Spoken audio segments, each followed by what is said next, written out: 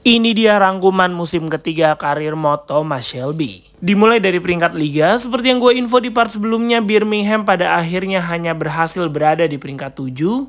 Sementara itu Manchester City berhasil keluar menjadi juara, sementara Bournemouth, Crystal Palace, dan juga Everton harus terdegradasi ke Championship. Sementara itu berikut adalah tim terbaik Liga Inggris musim ini. Bisa kalian lihat didominasi oleh tim juara Manchester City, sementara Birmingham sendiri terlihat nggak ada satupun pemain yang berhasil masuk. Hal tersebut tentunya sangat wajar mengingat Erling Haaland pada akhirnya berhasil keluar menjadi top skor setelah berhasil mencetak 23 gol. Di sisi lain, kiper dari Manchester City Ederson juga berhasil keluar menjadi kiper dengan clean sheet terbanyak di musim ini. Nah kita turun satu kasta ke Championship, di mana ternyata Wolverhampton dan juga West Brom berhasil promosi ke Premier League musim depan, sementara Huddersfield, Oxford, dan juga Cardiff harus terdegradasi ke EFL League One. Di mana di EFL League One sendiri, Rotherham dan juga Barnsley berhasil promosi ke Championship, sementara Bristol Rovers, Bradford City, Stockport, dan juga Wrexham harus turun ke EFL League 2. Dan terakhir di EFL League 2 ada Swindon Town, Leyton Orient, dan juga Cheltenham Town yang berhasil promosi ke EFL League 1. Lanjut kita rekap pencapaian lainnya Birmingham City di musim ini.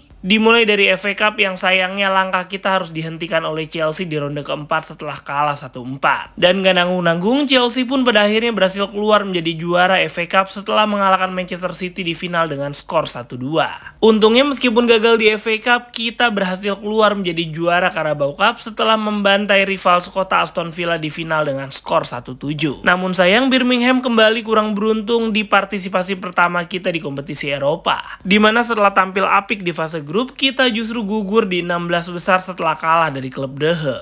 Di mana pada akhirnya klub dari Perancis RC Lens pun berhasil keluar menjadi juara setelah mengalahkan Lazio di final dengan skor 2-0. Lanjut ke kompetisi Eropa lainnya yakni Liga Malam Jumat di mana ternyata berhasil dijuarai oleh Juventus setelah berhasil mengalahkan Dortmund di final melalui adu penalti. Dan terakhir kompetisi Eropa kasta tertinggi yakni Liga Champions di mana berhasil dimenangi oleh Bayern Munchen setelah mengalahkan Manchester United di final dengan skor tipis 1-0. Dan gak lupa di kompetisi pramusim waktu itu kita hanya berhasil menjadi juara 3. Nah dari pencapaian tim kita lanjut ke perkembangan para pemain Birmingham di musim ini. Dimulai dari kiper kita Foster yang sayangnya harus turun 4 rating ke 67 karena udah tua. Di sisi lain, Callum Sanderson sebagai kiper utama berhasil naik 3 rating ke 74. Sama halnya seperti Libuhanan yang juga naik 3 rating ke 78. Sementara pelapisnya Emmanuel Ongelo hanya naik 1 rating ke angka 72. Dan untuk Mancini ternyata bermain setengah musim untuk Birmingham gak cukup untuk membuat dia naik rating di musim ini. Di sisi lain, Pascal Srick justru berhasil naik 2 rating ke 78. Sama halnya seperti Aiwu yang naik 3 rating ke 77 dan Dion Sanderson yang berhasil naik 1 rating ke 76.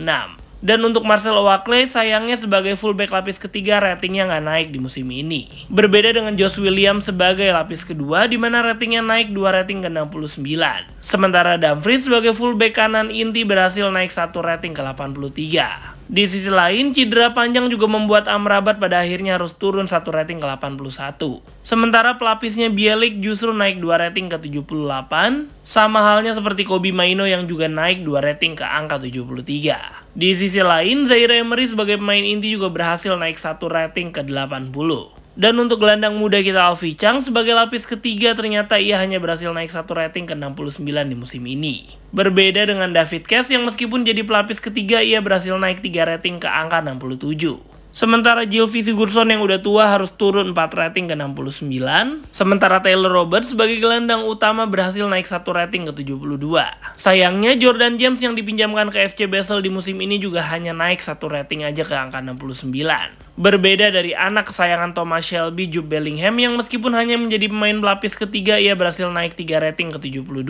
Sementara gelandang serang akademi kita Toby Gibbons juga naik 2 rating ke 71. Dan untuk pahlawan Birmingham, Koji Miosi ternyata bermain sebagai pelapis nggak membuat ratingnya naik di musim ini. Sementara Nestori Iran Kunda yang menjadi pemain inti justru berhasil naik satu rating ke 74. Sama halnya seperti Garnacho yang juga naik satu rating ke 83. Di sisi lain, pelapisnya di sayap kiri yaitu Aidan Maki justru berhasil naik 3 rating ke 74. Dan terakhir untuk Jamie Vardy yang akan pensiun ternyata dia turun 3 rating ke 69.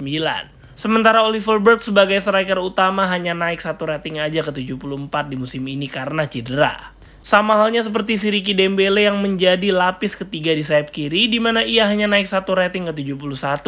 Dan terakhir striker akademi kita Connor Bolton yang menjadi lapis ketiga berhasil naik 3 rating ke angka 70.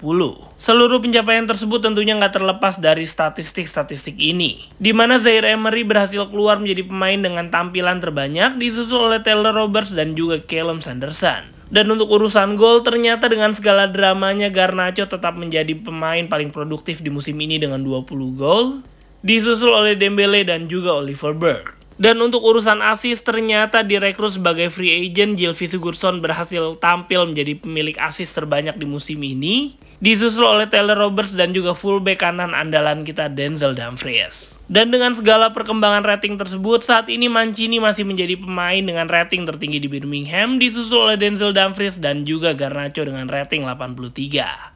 Menariknya, kepercayaan manajemen terhadap performa Thomas Shelby atas semua pencapaian dan juga perkembangan klub hanya di angka 65 aja di musim ini. Waduh, bisa-bisa kita nggak diperpanjang nih guys. Angka 65 ini sendiri tentunya didapatkan dikarenakan untuk pengembangan pemain muda, kita hanya berhasil menyelesaikan satu misi aja, Meskipun untuk bagian brand exposure kita berhasil menyelesaikan misi dengan merekrut dua pemain yang lahir di Eropa, tapi anehnya untuk bagian finansial meskipun kita udah selesai misinya tetap nggak dianggap nih guys bahwa misinya udah selesai. Untungnya untuk kesuksesan domestik kita berhasil melebihi ekspektasi manajemen dengan bermain di Eropa. Sayangnya untuk FA Cup juga kita gagal mencapai ke 16 besar. Sama halnya seperti Conference League seperti yang kalian tahu tadi kita hanya mencapai 16 besar aja padahal manajemen minta kita untuk minimal capai semifinal. Sipping on back from the legs, say something. Never tell a back that I never stay running. Sipping on facts, damn, know I got stacks in the lab. Taking bitches straight for another cat.